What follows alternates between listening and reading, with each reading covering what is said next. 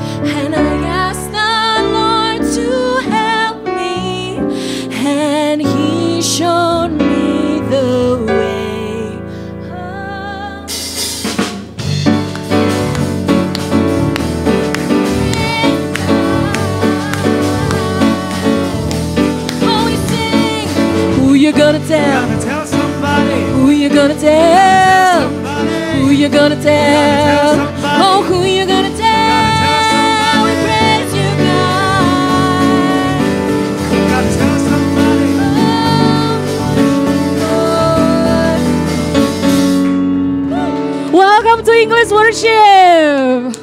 Well, if you see so many decoration here, this is we celebrate where Jesus born, yeah, but not today. Thursday. okay, so welcome to English worship, everybody. Uh, I gotta meet some of you here already, and it's good to see you here. You're joining our service, and for those of you online, yeah, we're glad that you're joining this service also this morning. Okay, guys, so English worship is a charismatic Christ centered community. We believe what happened in the Bible is still happening today because the same uh, God that worked in the Bible, He's still working in the midst of us and in each of our lives. and we want to glorify Jesus' name in everything we do and everything we say. And we believe that the best spiritual growth happening in the context of community. So if this is your first time or your many time come to English worship, no matter where, where you are on your spiritual journey, you are welcome here. Our desire is to empower you to pursue your God-given purpose in God global plans because God has planned for you, for each of you.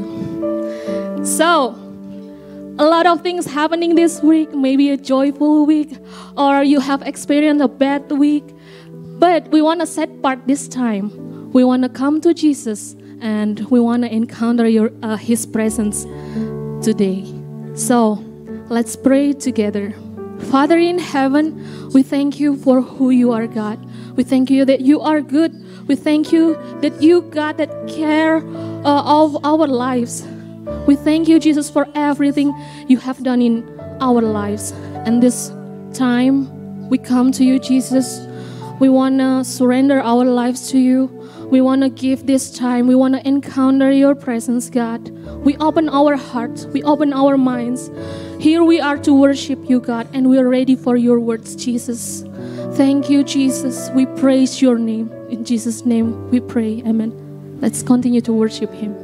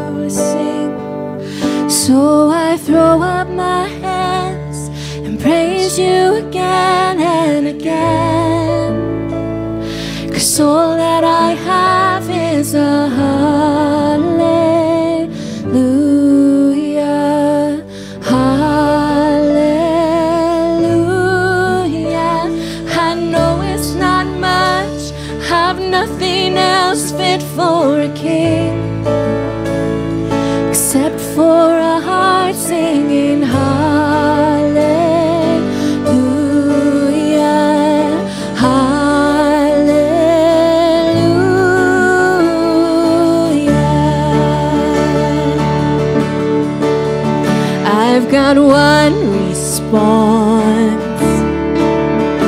I've got just one move with my arms stretched wide. I will worship you, God. So I throw up my hands and praise you again and again. Cause all that I have is a hallelujah. Hallelujah. And I know it's not much, have nothing else fit for a king except for a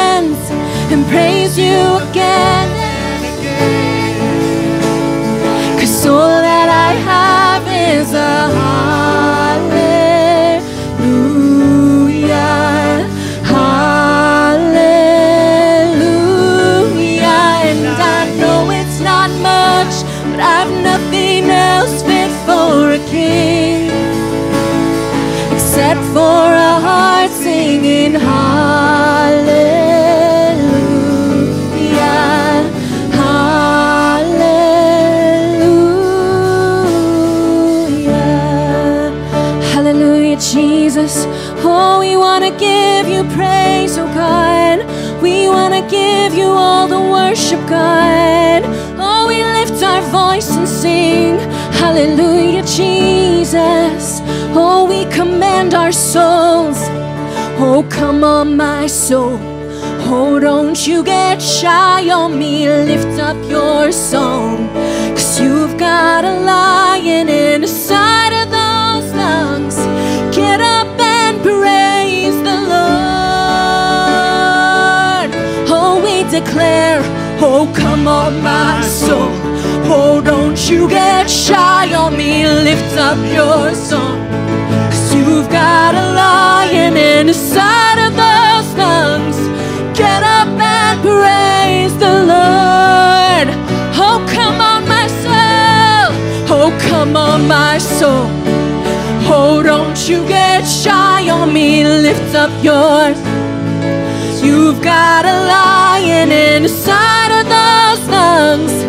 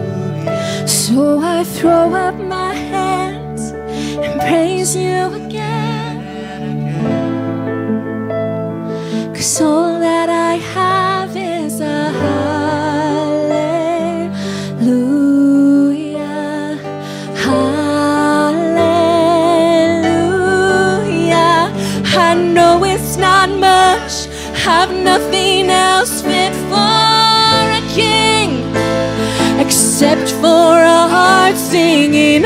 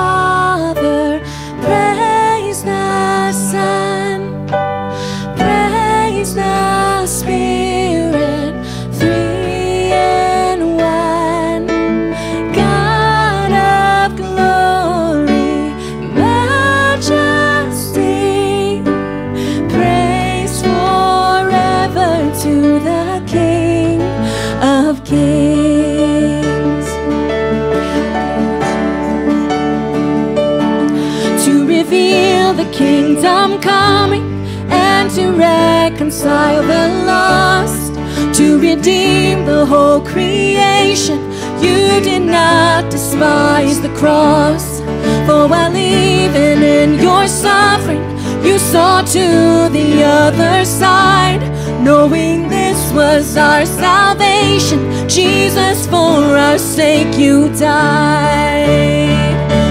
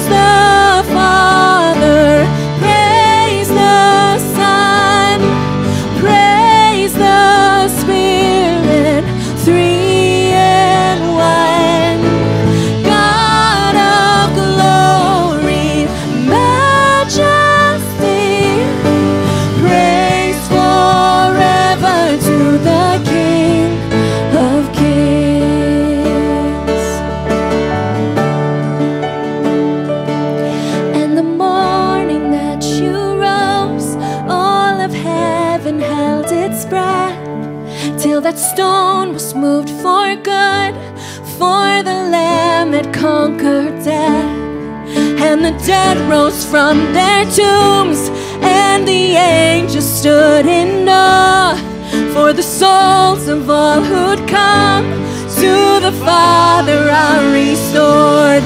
And the church of Christ was born. Then the Spirit lit the flame. Now this gospel truth of all shall not kneel, shall not faint. By his blood and in his name,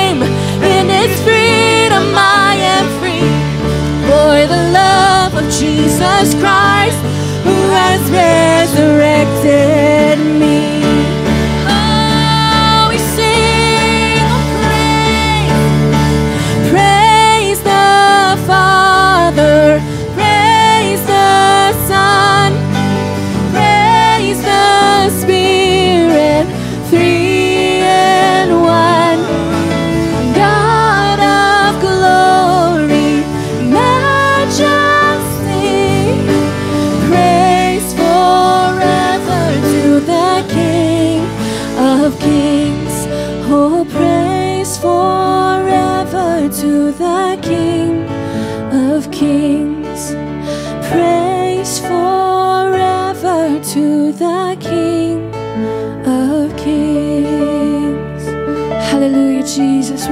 praise you, God.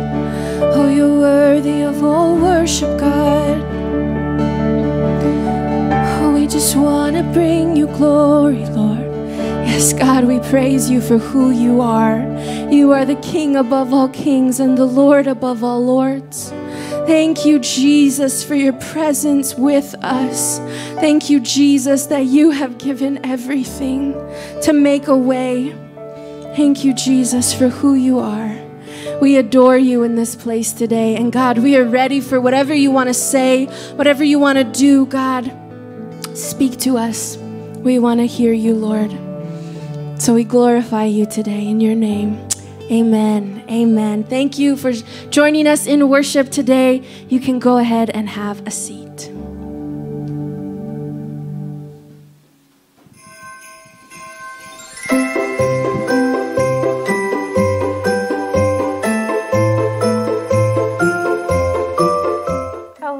And welcome to English Worship.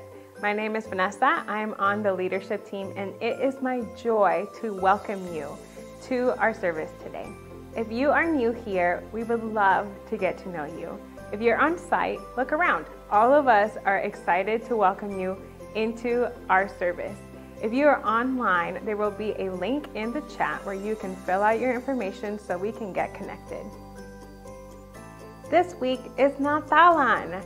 We are so excited to be doing Natalan this year, Thursday. Everyone say Thursday at 6 p.m. at the Rich Hotel. If you don't know where that is, that's okay. It's the hotel right next to JJM. We will be having our Natalan in the ballroom, and there's going to be special performances, there's going to be door prices. You don't want to miss that.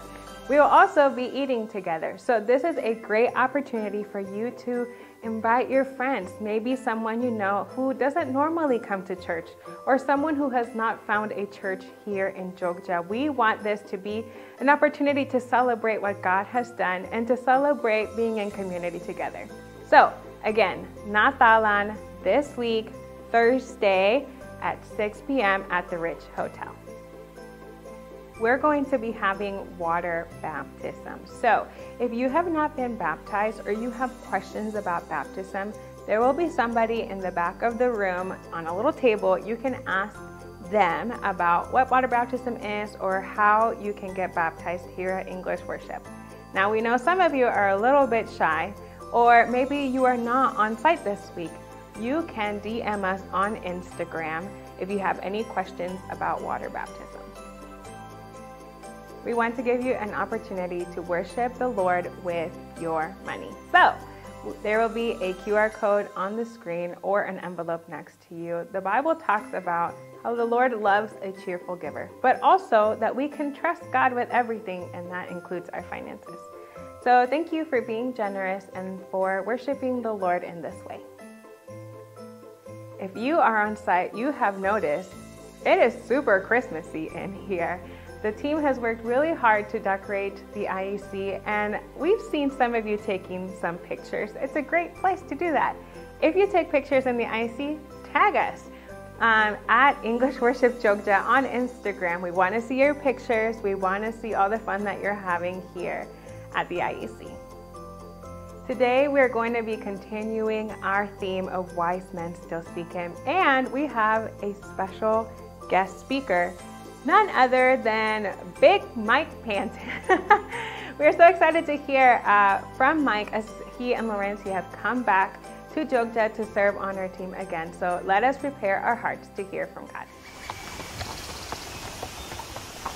Are we there yet? No. Are we there yet? Not yet.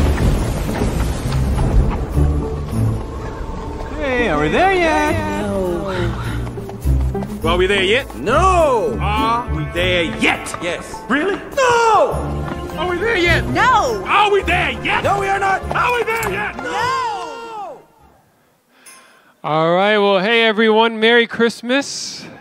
So, everyone, it's good to be here. Like Vanessa said, my name is Mike, or Big Mike, uh, is what it's becoming less popular, less common for people to call me that now, but that's what it used to be what everyone called me, especially in college. But I'm on the leadership team here. Um, we might not have met, especially if you joined English worship in the last few months, because my wife Laurentia and I were in America along with our son Rudd, and we went back to America for a few reasons. But one of the biggest reasons was for the birth of our second child. It's Silas is the baby, Rudd is the one standing up, and me and Laurentia. And so we are so excited to be back and to bring them back with us, to bring a new baby to Indonesia for everyone to, to just, just I don't know, gamoose over, right? And so, uh, many of you already know that, but that's, you know, flash that picture up. Um, if you see Rudd around here, you can go ahead and give him a high five. He's not, they're not going to be here this morning because uh, Rudd's been having pretty bad like allergies because we're moving. And so sadly, he's at home. And so, but they'll be here in future weeks. Um, it's funny because he'll do one of two things if you go up to him. He'll either get like really wild and excited, or he'll just lay down and say he's sleepy. And so if he lays down, eh, don't be offended. Just go over and say hi to Silas. He will not deny you. Not yet, at least. He's too young to be shy. Okay, so, well, it's a pleasure of mine to continue on with this series, Wise Men Still Seek Him, as our Christmas series for this month. And Jamie introduced this story last week. You know, it's from the Christmas story of the wise men. And I thought it was really great how he said that God includes everyone in this story. That God has given an invitation to us all, and, and, and let's not miss that invitation. Don't miss that. Well, this week, I really just want to go into kind of the same theme, but a little bit deeper by looking at two of the main characters not named Jesus in this story, and that, that would be Herod and the wise men, or the Magi, the Majus, right? And it's kind of looking at their responses to the birth of Jesus because they were entirely different. It couldn't be more opposite to the birth of Jesus. And I think there's things we can learn from both of them. Because I would like to say I always respond like the wise men. But I think, you know, there's, there's a little bit of Herod in me as well. And I think there's a little bit of Herod in all of us. And uh, it's not not to insult anyone here, but I think none of us are perfect, right? And uh, so to explain that, let's go ahead and look at this story. It's going to be the same scripture that we read last week, Matthew chapter 2, verses 1 through 12. And uh, so let's just jump right into that now with verse 1. It says, Jesus was born in Bethlehem in Judea during the reign of King Herod. And about that time, some wise men from eastern lands arrived in Jerusalem asking, Where's the newborn king of the Jews? We saw his star as it rose, and we have come to worship him. Then King Herod was deeply disturbed when he heard this, as was everyone in Jerusalem. He called a meeting of the leading priests and teachers of religious law and asked, Where is the Messiah supposed to be born? Verse 5 In Bethlehem in Judea, they said, For this is what the prophets said. And you, O Bethlehem, in the land of Judah, are not least among the ruling cities of Judah. For a ruler will come from you who will be the shepherd for my people Israel. Then Herod called for a private meeting with the wise men. So after he met with his people, now he's going to go meet with the wise men directly. And he learned from them the time when the star first appeared. Then he told them, Go to Bethlehem, search carefully for the child, and when you find him, come back and tell me so that I can go and worship him too. After this, the interview, after this interview, the wise men went their way. The star they had seen in the east guided them to Bethlehem. It was ahead of them and stopped over the place where the child was. When they saw the star, they were filled with joy. They entered the house. They saw the child with his mother Mary, and they bowed down and worshipped him. Then they opened their treasure chests, and they gave him gifts of gold, frankincense, and myrrh. And when it was time to leave, they returned to their own country by another route, for God had warned them in a dream not to return to Herod. And so, again, this is the same story we read last week, and I want to go into who were the wise men. Some of this will be a repeat.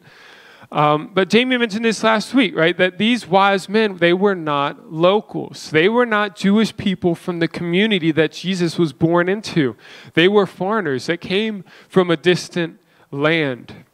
And well, it's not really entirely sure who these men were or even how many of them there were. It's really kind of cool to read about, I think. Like, especially if you're really into history or like ancient empires. I just think it's really cool when you see like biblical history, like connect with, I guess you would call it secular history, but it's really just the same history, but you can kind of read about the two stories at the same time. And, um, you could read, you know, you could study that for years. You could write a scripture about it, but I don't really want to go too deep into all that stuff right now. But I do want to mention one thing that the wise men, they were experts in astronomy. And God used astronomy to lead them to Jesus. Now, as a guy that studied physics and astronomy in college, I just think that's really cool, right? That God speaks to us in unique ways, right? He, you might be familiar within Luke that God sends angels to announce the birth of Jesus to shepherds. But here he uses the night sky, and that God reveals himself differently to everyone, that he can speak to us through creation. He can speak to us through our areas of expertise, through our hobbies, through our interests, through our situations. That no two people are exactly alike.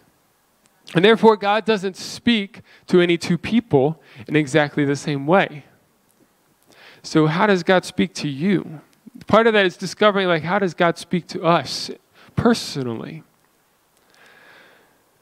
So he also spoke to the wise men. You know, you, the last verse in that story, he spoke to them also in a dream. And we believe God still does that today. You know, we say we're charismatic. We believe what happens in the Bible can still happen today. And that God spoke to them in a dream. So we have, He sent angels. He speaks through astronomy. He speaks through dreams. Now, how is God speaking to you?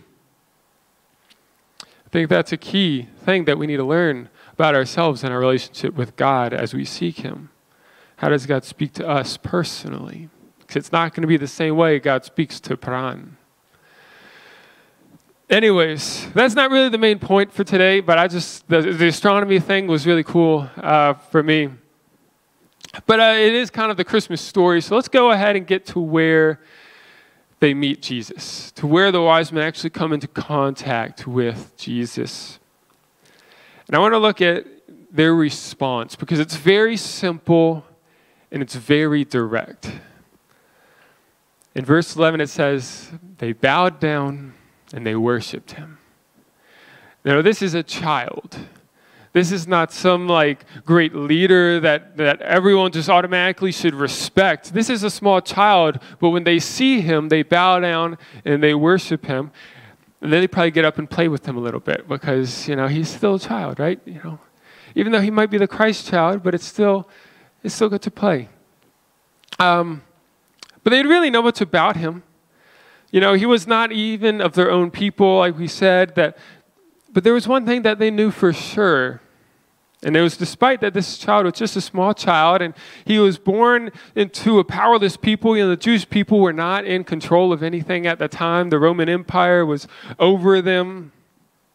And he wasn't even born into like a, a a powerful place, right? In, in the verses we just read, into this small place in Judea that he's come out of. But they were sure of one thing because of the sign that God had given them is that this child was a king. And that he wasn't just a king, but he was the promised king, that he was a symbol of hope to the broken world, not just for the Jews, but for the world entirely. And so they bowed down and they offered him gifts, becoming some of the first people to have the privilege of worshiping Jesus. And so I want to stress the point again that these were not Jewish people. And I think that's important because, you know, they didn't really know everything about the promised child. You know, they, they had some familiarity with the scriptures because Jewish people had been exiled, likely in the area where they had come from. But they didn't know everything about this, this promised child, this future king. And that's okay. You know, it's okay to have questions. It's okay not to understand everything. But here's an important thing to remember we must not let our questions get in the way of our worship. Because we will always have questions, we will always have doubts and even fears. But when we come to God, just looking for answers, we're not going to be satisfied. But when we come to God with a heart of worship and surrender, I think many of those questions and those fears and those doubts, they won't matter anymore. And I, am not saying that, that God doesn't care about our questions, that we shouldn't be asking questions. Like it's a good thing to learn and, and bring these things to God. That He does care, that He's patient and He's gracious to walk with us through all these things. But as Matthew writes in chapter 6, verse 33, Seek the kingdom of God above all else and live righteously, and He will give you everything you need. Seek first the kingdom, seek first God. And a lot of those things won't matter. Some of those things God will answer. And we don't necessarily know which one is which. You know, what are the things that don't really matter? What are the things that God's going to answer? What are the things that maybe God's going to answer later? It's hard because we don't know, you know, where our questions and where those things belong, which category they're in. But when we come to God with the heart of worship and surrender, we can know that God is going to take care of us, that God is going to lead us, that He's patient and gracious to lead us through these doubts and these fears and these questions, and we must not let them get in the way of our worship, just as the wise men did not. And so let us come before Jesus like the wise men with a heart of surrender, ready to give and to worship. Because our other guy in this story is, is very much different than the wise men. And I think it just makes the wise men's example all the more powerful. The other guy is Herod.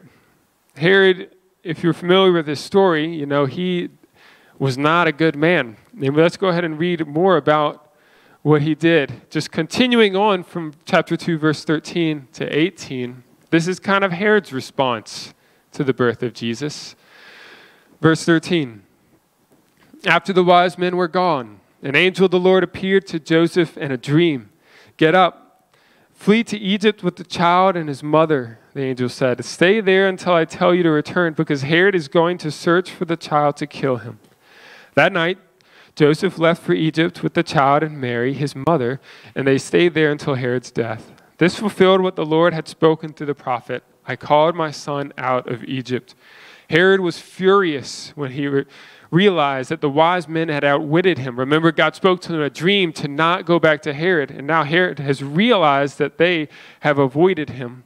And so he sent soldiers to kill all the boys in and around Bethlehem who were two years old and under, based on the wise men's report of the star's first appearance.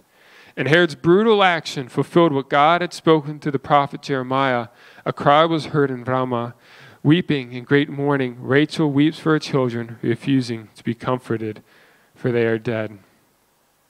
And so this is just such a tragedy on the eve of such a, a, victory. We read about the birth of Jesus, but it's also a sad story in Herod's response. Not just his response, but also just the why did he do such a thing when he had such a great opportunity, as did the wise men. So, who was Herod? You know, in short, he was a man appointed by the Roman Senate, by the Roman government to, to govern the Jewish people. He was appointed by the Romans to be the king of the Jews. And he himself was half Jewish, but he was not necessarily a friend or an ally of the Jewish people. You know, he taxed them heavily for a lot of building projects and uh, to give a lot of expensive gifts to people so he could gain favor with the region.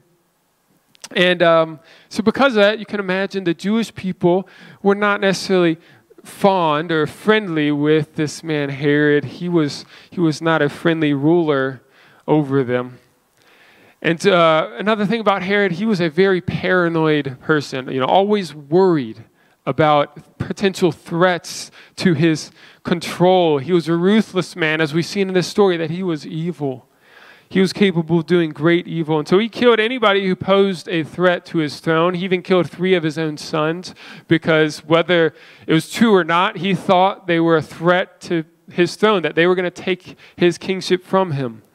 And, it, you know, maybe they had no ambition to do that, but he thought they did. And so we read, what is his response to Jesus? The wise men's response was to bow down and worship. What was Herod's response? Well, in verse 8, it says that he urged the wise men to tell them, tell him when they found Jesus so he could go worship them with them. But we know that that is clearly not true. He's clearly trying to trick them, that he has an evil intention in mind. And when he discovered that they had tricked him, he became furious and he tried to eliminate the Christ child in the most brutal way possible. Right? Because he saw this child as a threat to his throne. And he ordered for all the children two and under to be killed. It's truly a sad story that we read. And I just want to think like what drove Herod to this point of responding in this way? And I don't think, when I say we have Herod in us, I don't think any of us have like this kind of Herod in us where we're going to respond such, so brutally. But I think there's a bit of this kind of response in us when we encounter some things and when we encounter God. But what drove Herod to do such a, a terrible thing? See, I think it comes from the fact that Herod did not see Jesus as the promised king. He did not see Jesus as his Messiah. That he didn't believe what the scriptures had said about Jesus. Because, you know, he had the priests, he had the, the people that came and they told him what the scriptures said, but he didn't believe it. Herod saw only one thing, and he saw a threat. This child was a threat to his throne as the king of the Jews. And rather than embracing and worshiping his Messiah, he sought to kill him. And unfortunately, this is a story that repeats itself repeatedly throughout the life and ministry of Jesus, that people see him not as a Messiah, but as a threat. And so they seek to kill him until ultimately he was led to the cross by his own people, and he was hung there with the sign that said King of the Jews above him. See, people do not see clearly, and they, they're capable of doing you know, terrible things when they feel threatened. And so I want to just take a break, you know, a lighter note. Let's take a look at this uh, picture of an elk. So there's an elk. I think there's a lesson to learn from the story that's related. Take a little bit of a break from uh, just the deep tragedy that we're reading about. And this is elk. And uh, two years ago, this elk was spotted in the forests of Colorado. And, you know, for two years, people were trying to find this elk so they could help him. Because obviously, a tire around the neck of an elk is not good for his survival. Although I guess he did survive two years with it. So maybe no problem. Just like a necklace, like a big chain around his neck. Um, but for two years, people were looking for him, couldn't find him. There were spotting sightings of him, but they couldn't like get to him to help him. He was avoiding them. You know, whenever someone would see him, he'd run away as you would expect, you know, a wild animal to do when they see a, a, person. And so finally, a couple months ago in October, they were able to find this elk, not only find him, but they were to, to tranquilize him, you know, just shoot him with like a little dart to make him fall asleep. And um, they were to successfully cut the tire off his neck. After two long years of trying, after two years of running, they finally caught him. Um, but you know what? They had to tranquilize him to do it. Right? Because what would have happened if they just found this elk, walked up to him, maybe tried to pat him on the head and say, Here, I'm here to help you. You know, that would not go well. We all know that if you were to try to cut that off, if you were even to get close enough to be able to try to get the tire off his neck, um, you know, he would fight back. Right? He would fight back with everything he has because even though you're trying to help, the elk would feel threatened despite the fact that you're just trying to help him, he would fight back.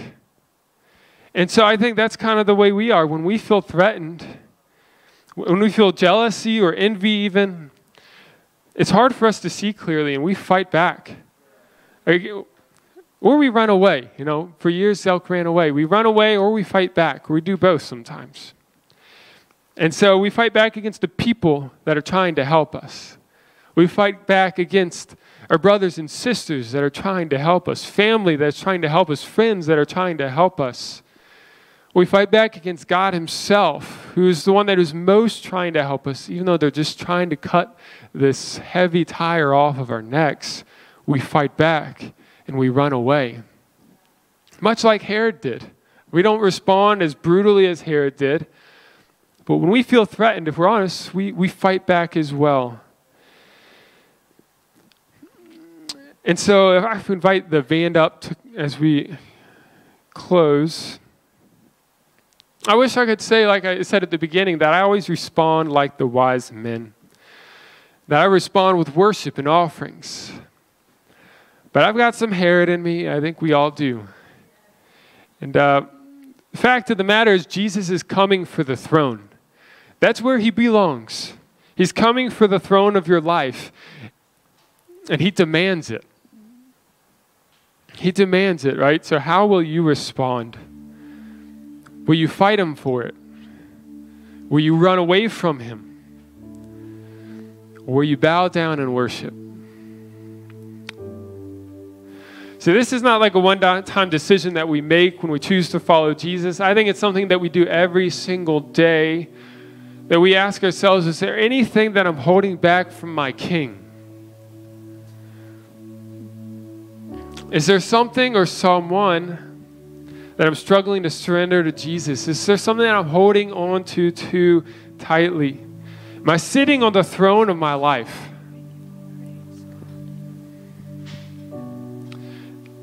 I remember back in college that I was talking to my mentor one time, my first semester, and we are talking about dating as I think a topic that is very interesting to most young people.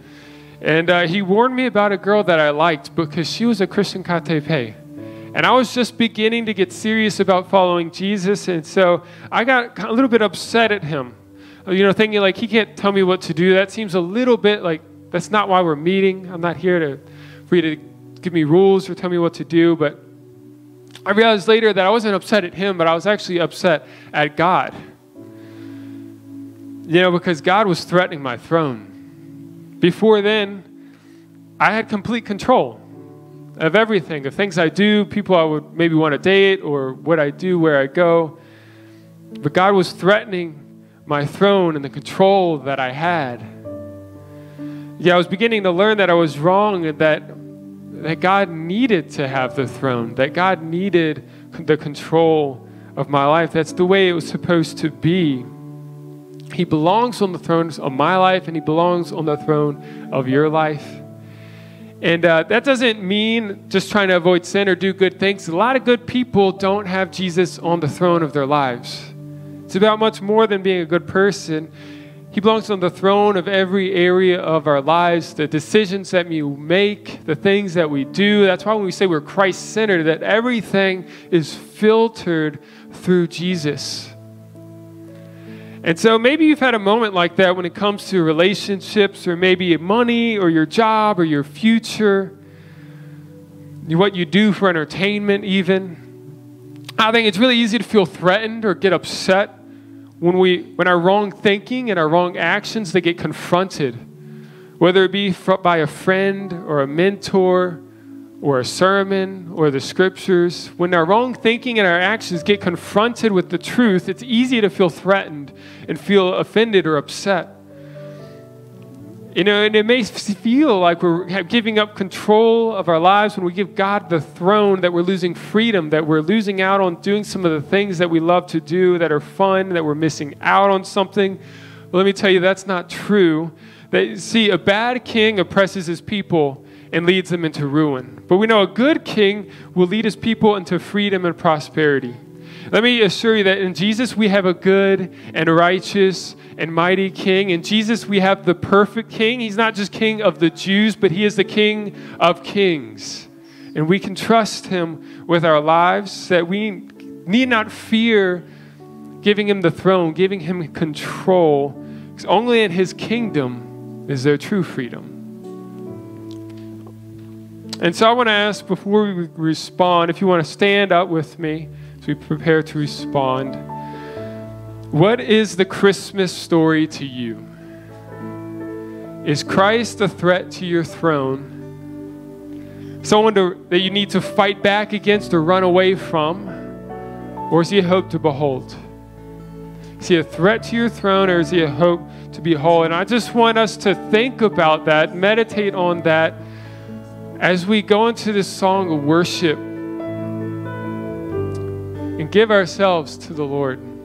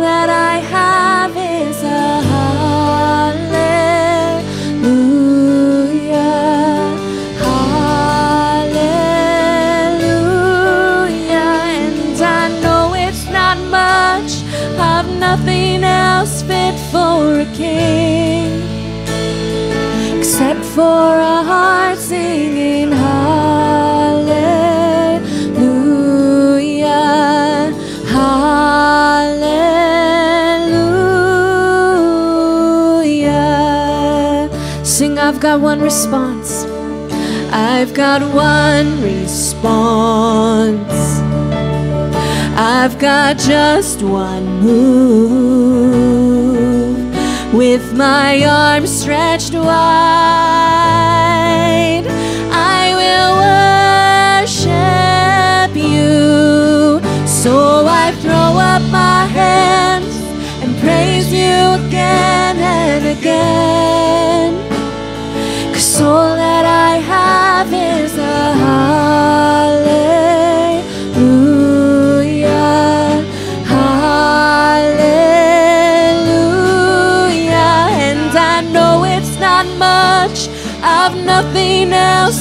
For a king except for a heart singing hallelujah,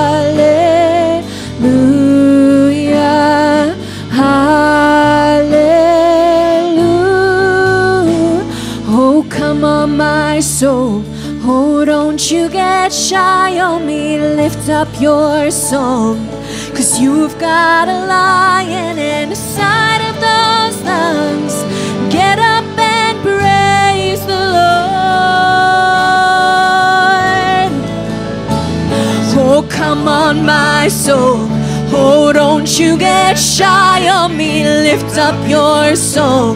Cause you've got a lion inside of those lungs.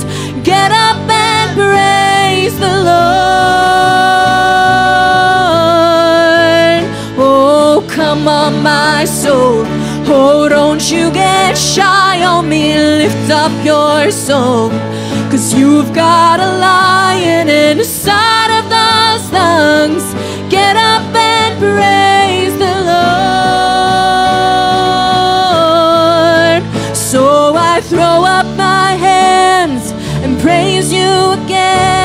and again. Cause all that I have is a hallelujah, hallelujah. And I know it's not much, I've nothing else fit for a king except for a heart singing hallelujah,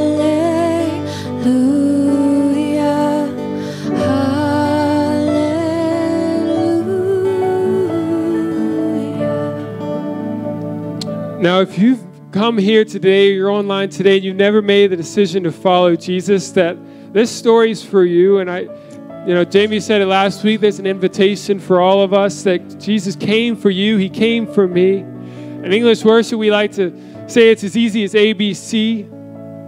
To begin a new life with Jesus, to step into that freedom that He promises. A, admit that you're a sinner, believe that Jesus died for you, and C, commit to following Him. The Bible says that everyone who calls on the name of Jesus will be saved. That's a promise for everyone, all time, everywhere in the world. And um, and if you want to make that decision today, I encourage you to just repeat this prayer with me. And I want to encourage everyone to repeat this prayer with me as our declaration of faith. And I want to say, as we pray this, to picture Jesus on the throne of your life.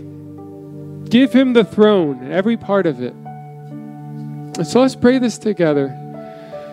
Dear Lord Jesus, I believe you are the Son of God.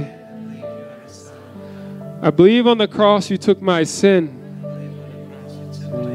my shame, my guilt, and you died for it. You faced hell for me, so I wouldn't have to. You rose from the dead to give me a place in heaven, a purpose on earth, a relationship with the Father. Today, Lord Jesus, I turn from my sin to be born again. God is my Father. Jesus is my Savior. The Holy Spirit is my helper. And heaven is my home. In Jesus' name, amen. Let's go ahead and worship together. And praise you again and again. Cause all that I have is a hallelujah. Hallelujah. And I know it's not much. I've nothing else fit for a king except for a heart singing hallelujah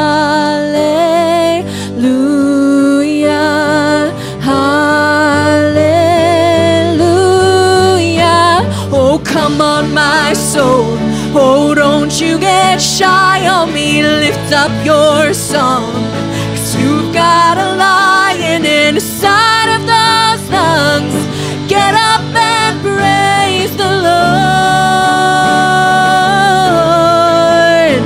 Oh, come on, my soul. Oh, don't you get shy on me. Lift up your song. You've got a lion inside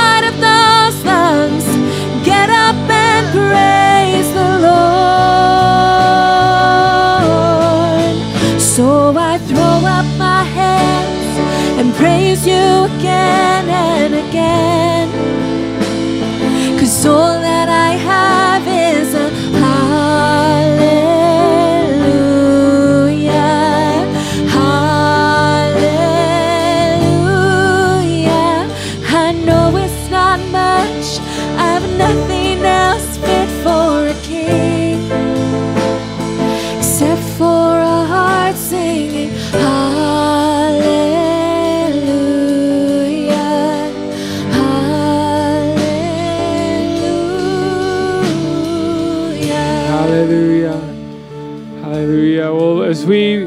prepare to close, lift up your hands. So I pray- a blessing over everyone. Lord, we thank you because you are come as the King. And Lord, that you are patient and gracious to, to walk with us through our questions, our doubts, our fears, our even our disobedience and unfaithfulness at times.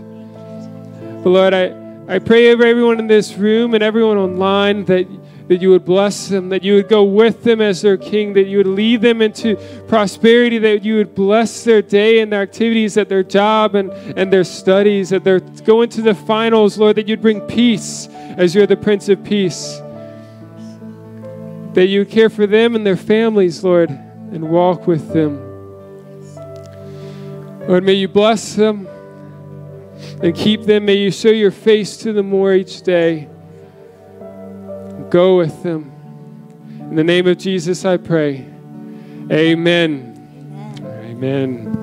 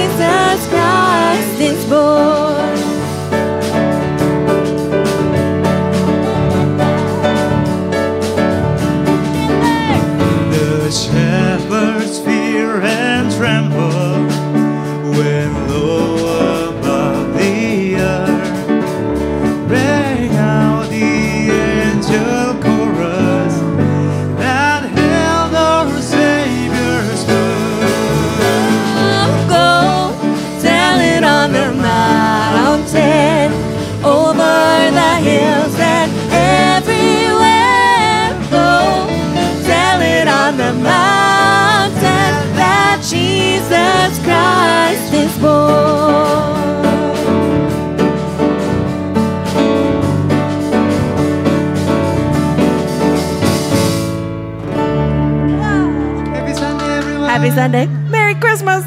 Merry Christmas. That was so cute and adorable and fun.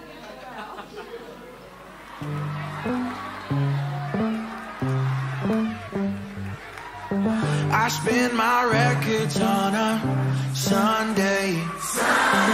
Before I get myself to church. I put on my best fit, your song got me dancing. I cannot wait to get out the door. We going to the house of the Lord. God through every season, you give me a reason to see beyond my mistakes and wash away my old ways. Now I'm a living testimony of your grace and God you give me purpose for a brand new day. Cause I spin my records on a Sunday before I get myself to church. I put on my best fit, your song got me dancing. I cannot wait to get out the door. We going to the house of the Lord. Yo, come on now. Uh, see, on the first day, I made mistakes. And on the second day, I lost my way. But on the third day, I found your grace. And ever since then, ain't been the same. Ain't been the same. Ain't been the same. See, I opened up the word and everything started changing. Since the beginning, when I was running, I was on your mind despite the life I was living. Now I'm a living testimony of your grace God you give me purpose for a brand new day. Cause I spin my